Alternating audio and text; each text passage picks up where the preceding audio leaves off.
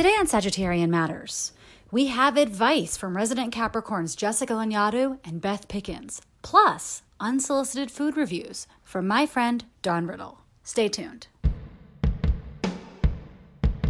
Sagittarian matters. Sagittarian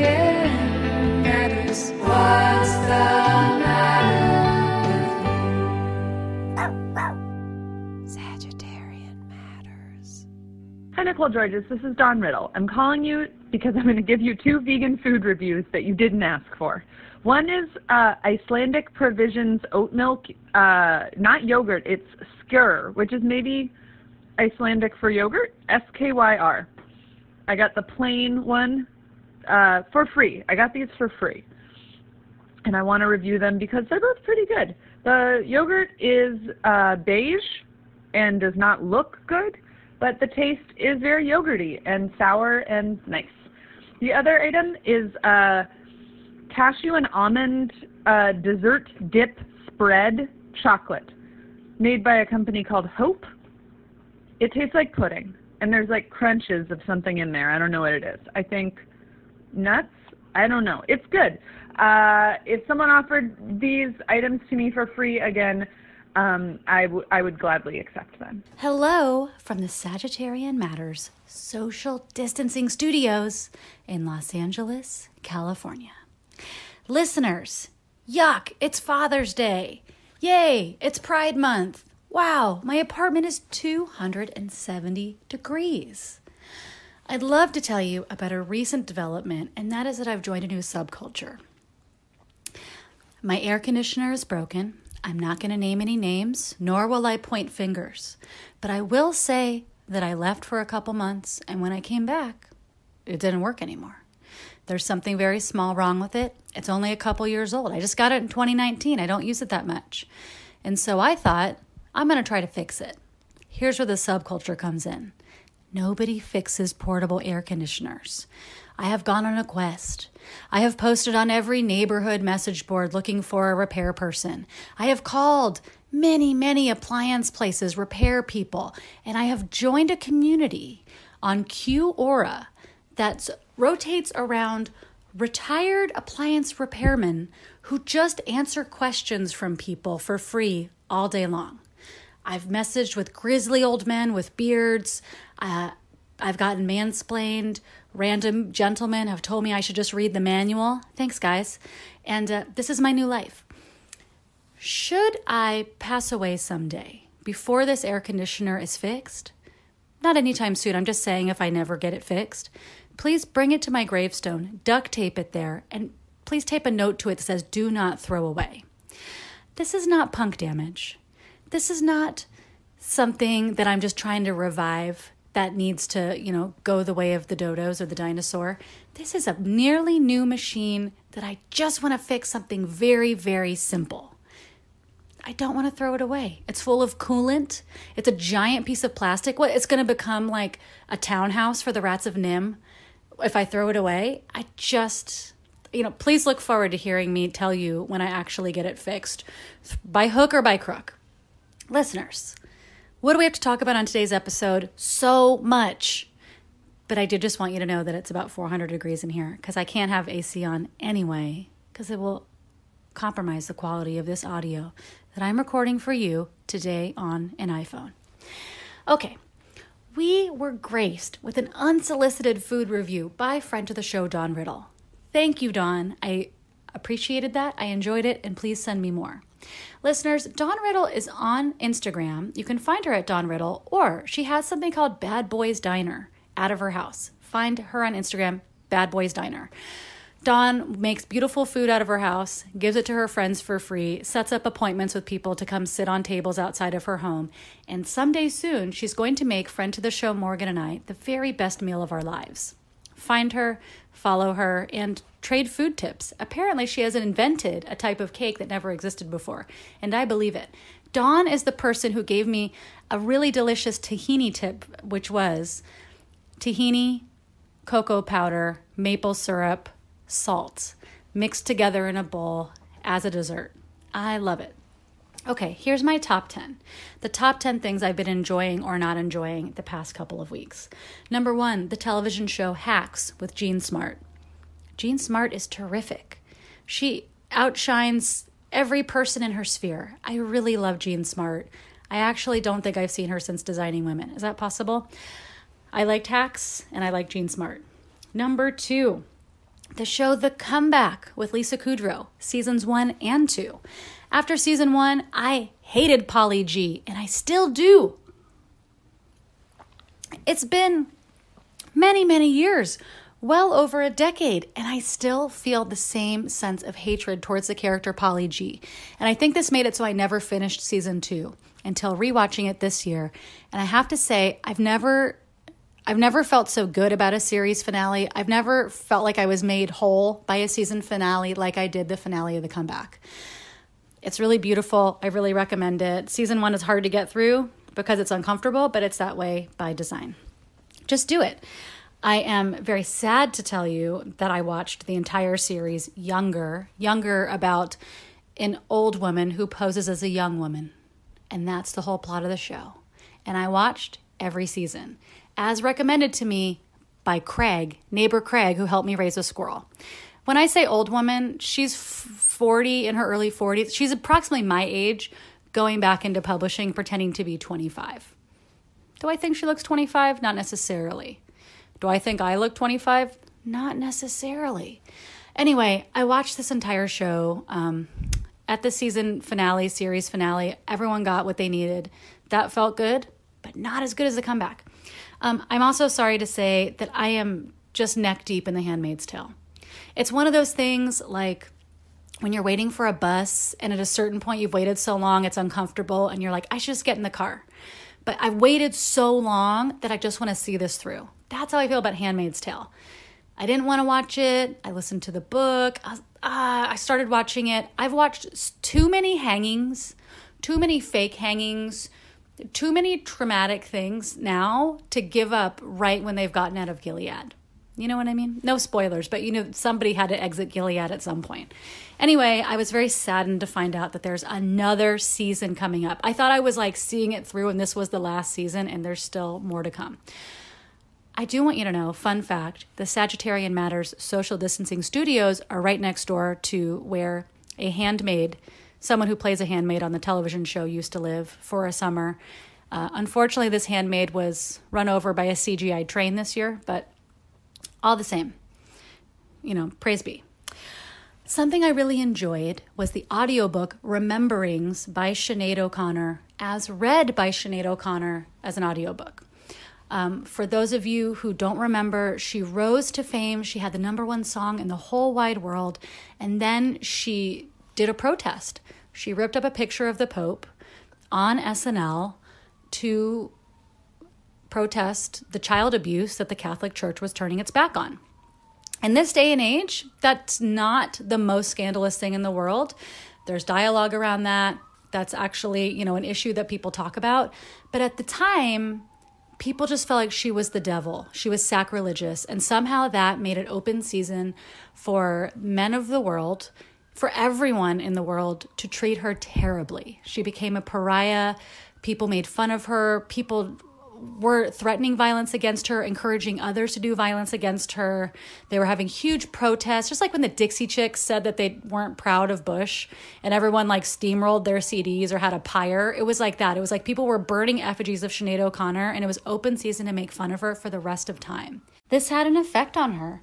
And later in life, she suffered from a lot of mental illness, and people were able to continue to sort of abuse her by just writing her off as quote unquote crazy.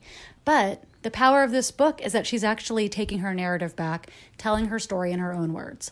She has stories about being a punk and so shaving her head when the record label record label wanted her to look like a sexy, feminine, long haired songstress wearing tons of jewelry. She has stories about disliking Prince, about Peter Gabriel, about Bob Dylan, and about the men who never stood up for her. And it's her telling the whole thing from her own side. I really loved it. I think she's very compelling. I think that she does a beautiful job narrating her own childhood story and her childhood trauma. And this is an audiobook that is great for a drive. In my opinion. The last thing I want to tell you about this week is kelp noodle salad. Have we talked about it before? It's the dog days of summer, and what is better than a crispy, crunchy little noodle, or maybe not crispy, but a crunchy little noodle with a little bit of bite in a salad. Anything to jazz up a salad. Anything to involve a little bit of noodle sauce delivery service to your greens. Here's the two ways that I dress it one or the other, not both at the same time, please. Either a pesto or a tahini sauce. Pesto could not be easier. Come on. Today I didn't have basil, I had arugula. I got a little fucked up from being in the back of the fridge. I had arugula. I had Violife Parmesan cheese. I had garlic. I had a nice olive oil, a little bit of lemon from a neighbor's tree, throw some Maldon salt in there, maybe some pepper for fun, blend it up in the magic bullet. It took like three minutes, and that was a beautiful dressing. The hallmark I feel of aging is referring to food as beautiful. It was a beautiful dressing to go on some little crunchy noodles that went atop more arugula. Is that kosher? I'm not sure. Having arugula sauce on top of arugula? I don't know. Um, and then some tofu on top. It was lovely with some carrot shreds, some more pepper, some hot sauce. Call it a day. Listeners, you already know my tahini, my tahini sauce that I like. Tahini, soy sauce. If you're lucky, a little bit of ginger and garlic. If you are very lucky, some kind of fun hot sauce like sambal or sriracha. Uh, some rice vinegar or lime juice, blend it up, see how it is. If you need to add something sweet to it, like a dash of maple syrup, you could. Some sesame oil, wonderful. Have that on your kelp noodles with some carrot shreds. Have it with some green onions. Have it with some sesame tofu. What a delight. I hope you have a wonderful week. Thank you for listening. Please send us your advice questions 971 361 9998 998 9998 971 361 9998 or find us on Instagram at Sagittarian Matters. Send us a DM with your question. We will keep you anonymous. If you want to make up your own name, you can. Otherwise, I'll do it for you. And if you call our hotline, I promise not to answer the phone ever. Have a wonderful week. Please enjoy advice from Beth Pickens and Jessica Lanyadoo, Capricorns both. And next episode, we will have a full length Beth Pickens radio hour. Have a great week. Happy Pride. Happy Father's Day. Happy Dog Days of Summer.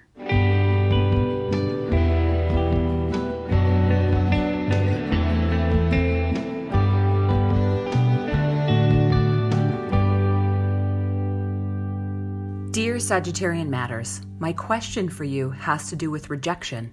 I graduated from my fiction MFA three years ago. A lot of cool things have happened in my life and career since then.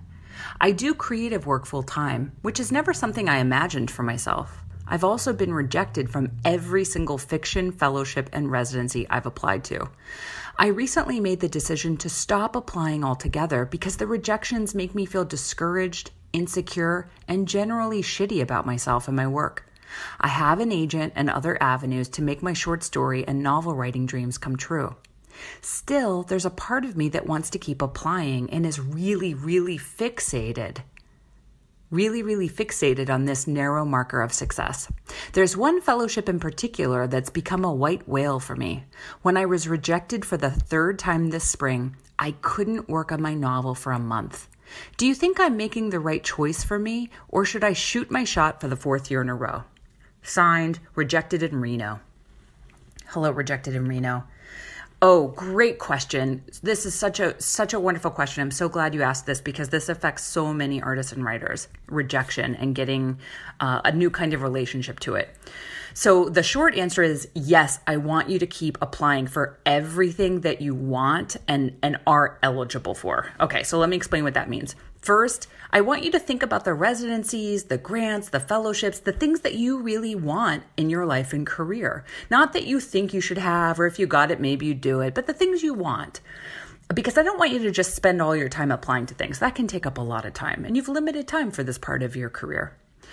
Then I want you to make sure that you're competitive and eligible. That means first, make sure always with any application that you're absolutely eligible. Then I want you to see is this a good time in your career to apply? Are you competitive? Meaning, the people who are getting the things that you want, are they more or less your peers? Or are they people who are much further ahead in their career? For example, with my clients, I always recommend they don't start applying to a Guggenheim application.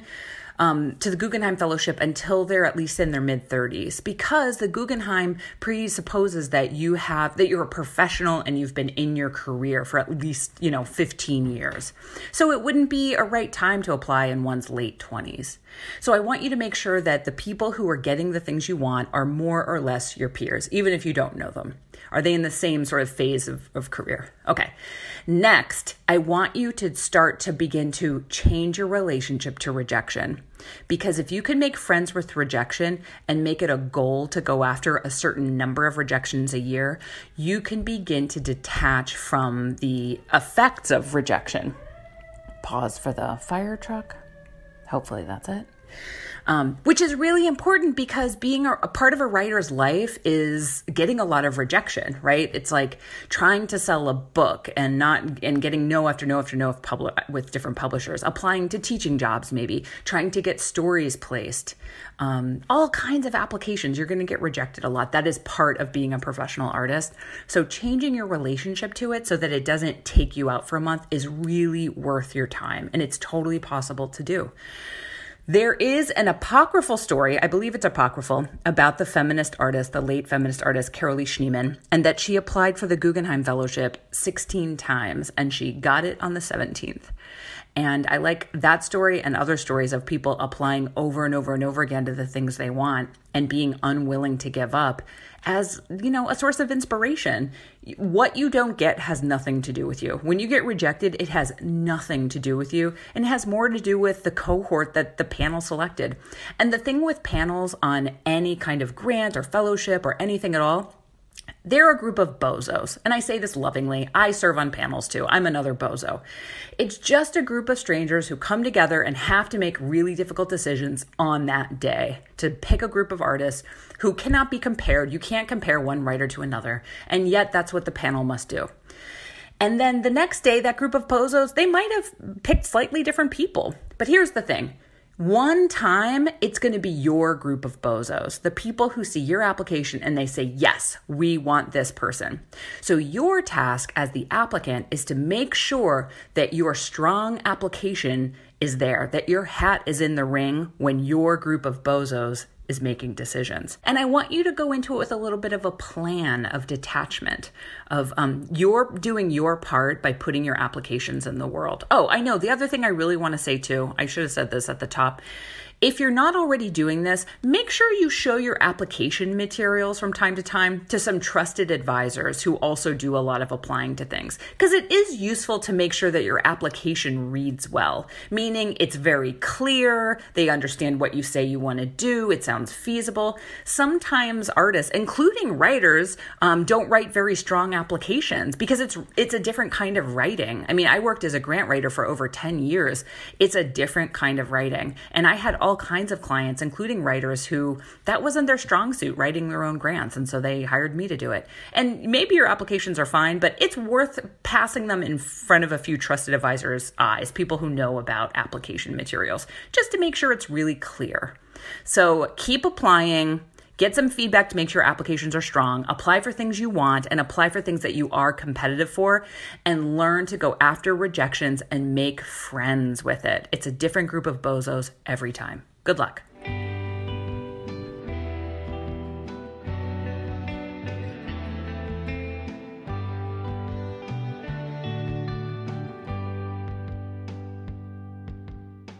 Today's episode is brought to you by Maria Turner Carney, Emily Helmus, Shoshana Ruth Wechter, Christy Harrod, and Joey Soloway. If you would like to support Sagittarian Matters, in particular, producer Chris Sutton, please send $5, $5 million, that's your business, via PayPal to hornetleg at gmail.com. Or, this just in, he's got a Venmo, Hell Books on Venmo. That's H E double hockey sticks books. Thank you for your support, and we look forward to saying your name on the podcast. Producer Ponyo looks forward to it too. Don't be scared, that's just Ponyo's speaking voice.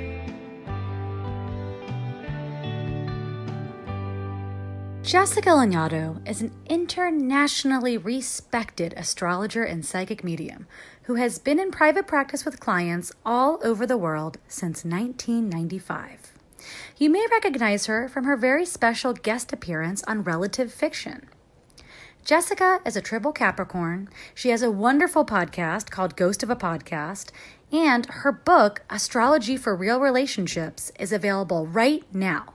Find it at lovelanyadoo.com or anywhere books are sold. Well, I come to you from the Sagittarian Matters social distancing studios in Los Angeles, which in this subletted home is a crib. This is a crib that the people whose home I'm subletting, their toddler child usually sleeps in. But I have found that for podcasting, this is the room in the house with the best audio.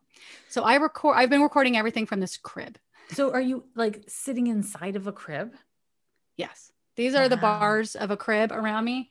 Um, one side is open because it's a big girl bed, but uh, I'm surrounded by boxes and stuff. Anyway, we have a lot. We have a lot, a lot of questions from listeners who are so excited to have you back on the show, as am I. As am I. Okay, dear Jessica and Sagittarian Matters. In a world where direct communication is often taken as rude or threatening, how do we honor our honest, truthful nature without either shrinking to avoid hurt feelings or being harsh? That's interesting. From Wondering in Wisconsin. Wondering in Wisconsin. That's also just good. I don't know if they really are in Wisconsin. I would be really charmed if they weren't and they just used it because it, it was like a good woo. Yeah. Well, I I mean I this is interesting too because I it's almost like a there's like a certain East Coastness and a certain Yeah. West Coastness. Yeah. What I do don't think? find, I mean, for it's interesting because yes, some people feel that directness is rude. Or is that what the words they used? Yes. And this person appears to be uh, on the spectrum of woman identified. Mhm, More to- mhm. and so people are less people Absolutely. are less accustomed to directness from women or people that present feminine. Mhm. Um, they're like, "Oh, what are you doing?" You know, it's interesting. I'm very direct. You're a very direct person as well, eh? So for me, I, I am a very direct, very honest. And I made a decision. I know this might sound so silly, but I personally made a decision when I was a teenager. I was like, I'm just going to be a really honest person. And what I found is that people, once they accept that you are how you are, they orient around that. But here's the big but is that a lot of times we say to ourselves, I'm being honest, I'm being direct, when what we're actually being is obnoxious or insensitive or demanding or critical. And there is a space between being honest and direct in those things. And I think some of that is about really making sure that what you're saying is considerate, you know? And that's not, it, it's like we couldn't answer this completely on, like we don't really know what's going on with the questioner, but I think, I think that there's like two parts. There's one is if you're just being direct and honest and people are just like, ow, you're just supposed to agree with me, then let them have their reactions because that's about them and not about you. You don't need to adjust something that's someone else's problem. If that's someone else's problem, let them have their problem.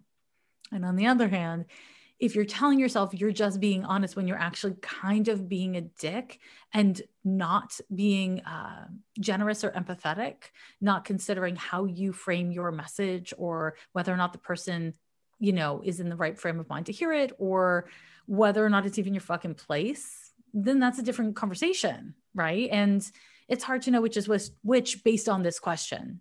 Yeah.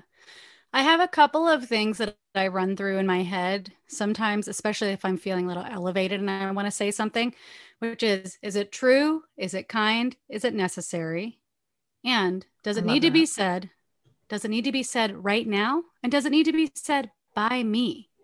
That kind of helps me like remember my place you know, and it's one thing if you're talking about in the workplace, but it's another thing if it's interpersonal. Sometimes somebody doesn't need your fucking opinion. Yes. Sometimes someone wants to tell you something because they're your friend or your partner, and they just want you to listen to them and reflect back that you hear them, not be like, "Well, I'm being honest. Mm-hmm. I just want to tell you, I'm being honest." I think you know. So, so it just it really it really depends. But I do try Yeah. to run through those things, and they do help me hold my tongue at times where it's actually like none of my business yeah. To tell somebody something that's my opinion of their life that they didn't ask for. I think that's so important. And also, It's you know, being asking someone like, "Do you want to hear my, my thoughts right now, or do you just want me to listen?" is a really easy, simple thing that you can do that can radically change your dynamics with people. Mm-hmm. Yeah. I'm looking more at this question. How do you honor your honest, truthful nature without shrinking to avoid hurt feelings or being harsh? Yeah. I feel like feel we like nailed we- that. I mean, I feel like we I feel like nailed we nailed it. I also feel feel like, um those questions, those answers, wait, they're questions you ask yourself. I feel like Mhm. that should be turned into some sort of shareable post to help the people help themselves. Yeah. Well, I, I do have these as anonymous fuzzballs. I can post them to go I think along you with should. this. I really think you should because anonymous fuzzballs check, adore, love. And also just I mean, if they're sharing wisdom, what's not to like? What's not to like? I mean, Uh-huh. But it, it is it is helpful sometimes when i have that feel like sometimes like a pause just a pause within myself to be like the thing i want to say that feels really true does it need to be their truth too or can it just mm-hmm. be my truth? And another thing i think sometimes like would it would it fucking kill me if they didn't understand? Like maybe Yeah. somebody doesn't understand your exact point of view. Maybe you just got to leave it there. Yeah. Dear Jessica and Nicole, how would you respond to a coworker who's a bully? Would you avoid, react from bullied in Bethesda, Bethesda, where's that? uh, Maryland? Oh, you're doing a great job with these, like, uh, what are they, they're called something, right? When they're like bitty bitty boobs. I don't know what they're called, but I really like these sign offs. Sign offs are amazing. Damn, that's kind of a tough question. What what is the context of the bullying? And is this coworker someone who has power over you or you have power over? Hmm. Um, I- mean, there's always profession. I mean, there's a couple things. There's one, you could just quit taking it personally and just understand this person, the way that that you feel about them is probably the way a lot of people feel about them. And you don't have to take it personally. And the more you can kind of detach from what they're doing, probably the more sane you can be. And you, you don't have to sit there and be like, God damn it, why did they say that thing? I mean, another thing is you could just you could just say like why why would you say that? Or what are you, what are you saying? What? Or you could just report them to hr i don't know. I'm kind of Yeah. a tattletale. I'm kind of a tattletale and i don't i don't always do it but sometimes my instinct is like don't tattle on that person. They're not acting right I, I I, don't know. I'm a fan of tattling too in that kind of scenario. I also think it's possible that the person that they think is a bully is actually like wordless in Wisconsin. Wait, what was her name again? yeah oh uh wondering in wisconsin Wondering in Wisconsin. Maybe wondering in Wisconsin is just like, I'm just trying to be direct and honest. And this person feels bullied. So there's also a question of like, kind of what you were saying of just saying directly, hey, this is actually not funny to me. You need to fucking stop. And I hmm. think we undervalue kind of the the impact that being really direct and clear is. And I don't mean defensive and aggressive. I just mean firm and clear. And sometimes a lot of drama can be avoided by just saying, Hey, eye contact. Are you having a bad day? Because the way you're treating me makes me feel bad and I'm not okay with it. You need to stop. And, you know, just not even like, not trying to have a deep conversation, not trying to punish them, not trying to show them how sad you are or how angry you are, just being like, this is my boundary. And if you are going to tattle, which I really like it that we're calling it tattling instead of reporting it. um, but I think you have a stronger case if you have been kind of as quote unemotionally as possible um, or professionally as possible, very exceptionally clear. And if you're at all concerned and you have a kind of a work environment that involves emails and computers, I'm a huge fan of a paper trail. So everything, everything, everything in writing, writing an email to someone saying, hey, you were, you said this thing to me the other day. It made me feel really uncomfortable. I've noticed that this is a pattern. I'd like to bring it to your attention and ask you to stop. And then if there, this does go to HR, you have this really clear thing you can show to them and it's you know it's always it's always good to be a little litigious if you think something can go sideways on you Yeah. I like the idea of a paper trail. I mean, even if you need to just make a note of it, send it to yourself or, you know, so you have a timestamp on it before Yeah. you decide to make your next move. Um, I mean, I like what you said about being direct. And also, you know, I'm I'm not above making myself just seem like a knob who doesn't understand jokes. And just being like, what I don't what do you I don't understand why you said that. Or like, hey, you said you said that. Are you doing okay? Because you said this joke and it really hurt my feelings. I just want to make sure everything's okay with you. Just making yourself just be like, you're dense. You don't understand that it was the funniest joke in the world, and you're just never going to because you just don't have a sense of humor. Mm-hmm. Just pretend like you don't have a sense of humor when you go to the office. So when they say something passive aggressive at your expense, you could just be like, "What? What? Is, what are you What are you talking about?" And it just becomes significantly less fun if they have to explain their own mean joke. Yes. but again, you know, I think some of some of our feedback is like based on some assumptions about a the work environment and b the the nature of the bullying. Yeah. I'm assuming it's not that bad since there were no examples shared. Yeah. Well, I mean, this was this was on Instagram stories, but they didn't make it like a multi-story thing. Which or- people do when things are really drama nuts. Yeah. So, you know, speaking of drama nuts, I just got something called soap nuts. Have you What's heard of this? I can't remember. It sounds So- familiar. soap nuts are these little berry nuts and you put them in a little muslin sack and you you use them instead of laundry detergent What? yes they're soap berries if you google soap berries or soap nuts uh, you will find i just learned about this and i'm about to start trying it today put some essential oils on my soap nuts you throw it in the wash you can use soap nuts for your body for your dishes or for your laundry and they're All one. literally just berries. So there's no packaging. There's like no harm to the planet. And apparently they work. We'll find out. This is wild. I mean, Please, please report back. oh, I will. And um, I'm sorry that we took it away from bullying, but I feel like soap nuts are on topic for everything. They sure are. And you know, if you're getting bullied about the way your clothes smell, try soap nuts. Try soap nuts. What if we found out that the bullying was this person like putting them in a locker, giving them a swirly, giving them a, like a like a noogie or like a rope burn or just like a wedgie? Then we've given them really bad advice. And I am you could- not above admitting that. The email could say, you know, when you gave me a wedgie this week, Yes. it was very uncomfortable for me. I need to ask you to please stop giving me wedgie. honestly, I feel like you need to make a fuzzy about that. Please. Well, and also pulling someone aside is nice and awkward enough that you might get a response. Mm-hmm, Yeah. As but opposed it to comes saying- back to being direct, doesn't it? So Mhm. I'm starting to really think that I know Wisconsin and Maryland are two different places, but I think this might be coworkers. Oh my God, here's another one about work. Too bad we both work for ourselves. And we have forever. Dear Jessica and Sagittarian Matters, how do you handle passive aggressive colleagues who deliberately undermine you?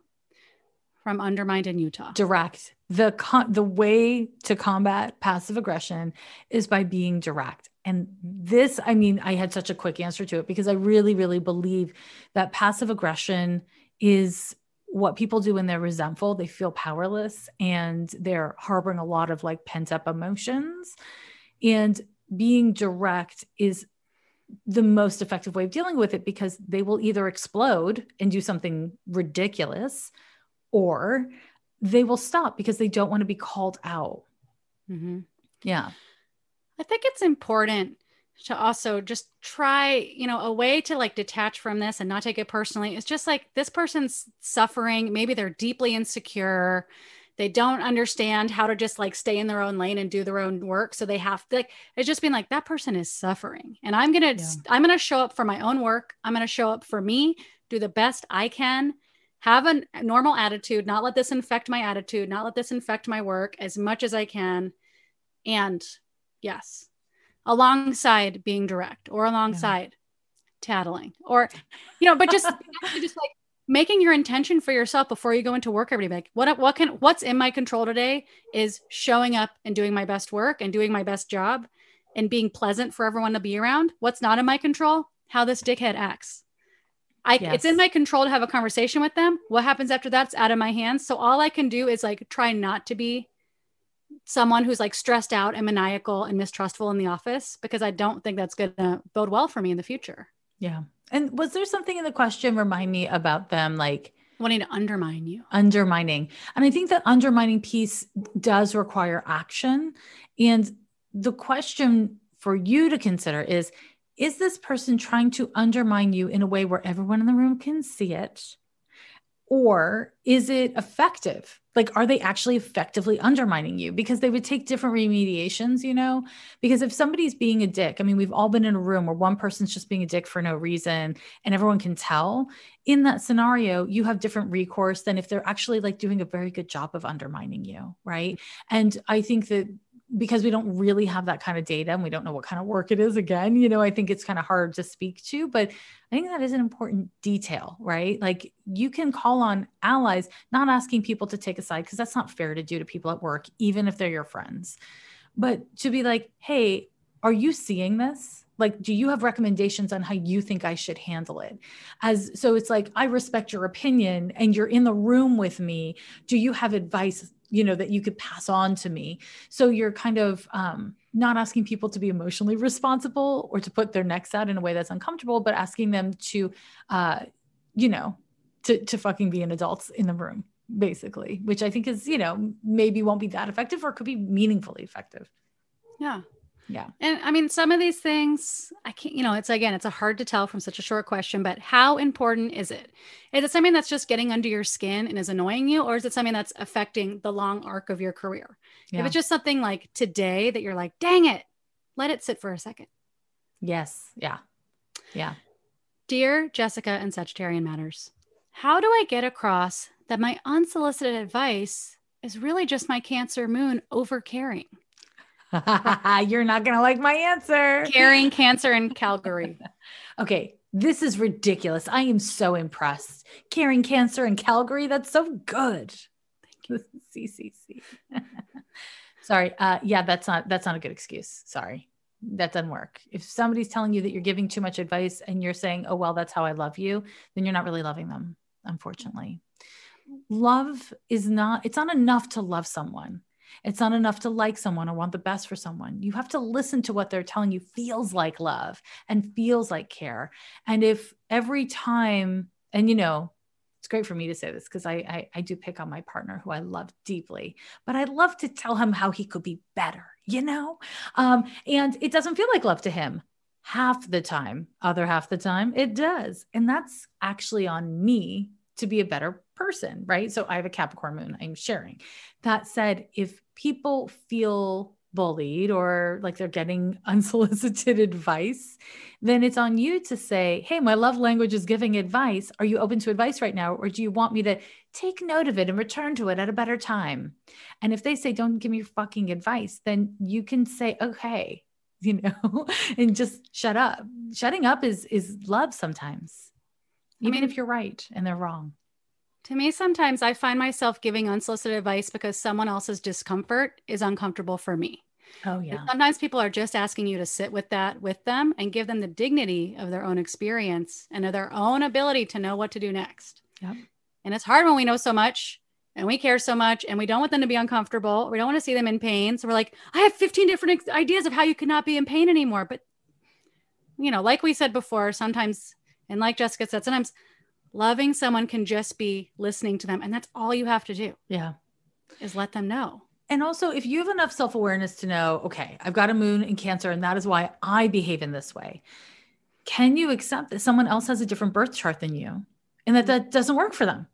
Asserting, so when we first learn astrology, it's very tempting. And I guess some people do it even when they're not at the beginning of learning astrology, but it's very tempting to be like, well, I can justify my behavior based on my birth chart. But if you live in a society and you have relationships with people, then when you force your birth chart down other people and their birth charts' throats, then you're misusing astrology. You're not using it responsibly. It's about having the self awareness to know, oh, my impulse is because maybe because I have a Cancer moon or whatever it is. Although giving advice is not exactly a lunar thing, but my my impulses my my desire to do these things is because of my birth chart but but The people that I'm choosing to be close to, the people I care about, are telling me that doesn't feel good.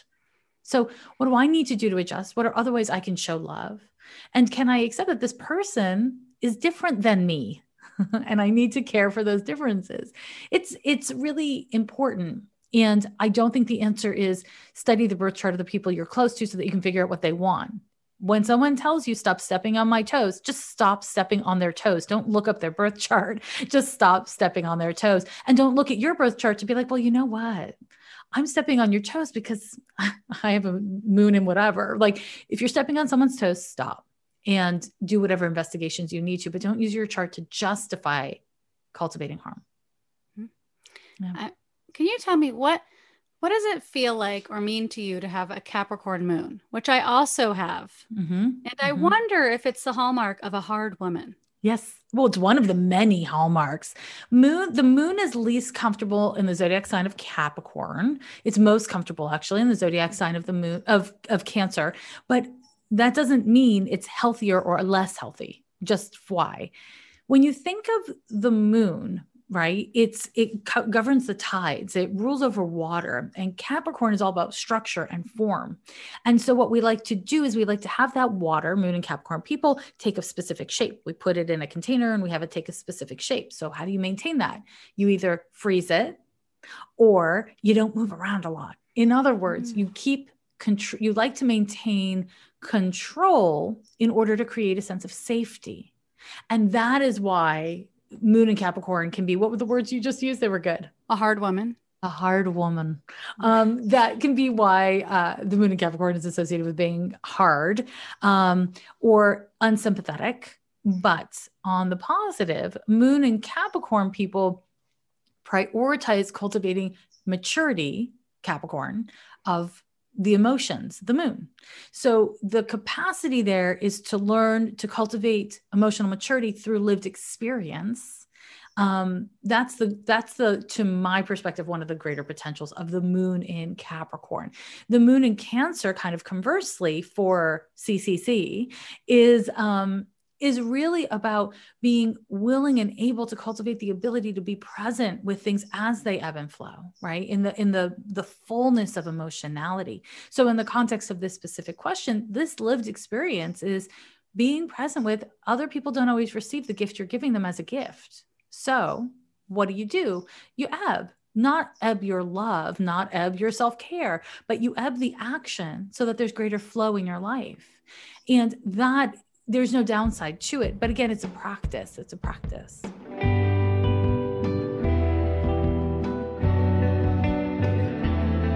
Sagittarian Matters is produced by Chris Sutton with assistance by Ponyo Georges.